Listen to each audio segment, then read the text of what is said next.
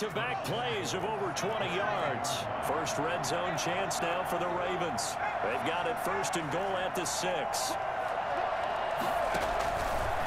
They'll try to run it in, going option right. Dobbins going to take the handoff on they the option. They should have put a stamp on me in the locker room. And he'll get in. Touchdown, Baltimore.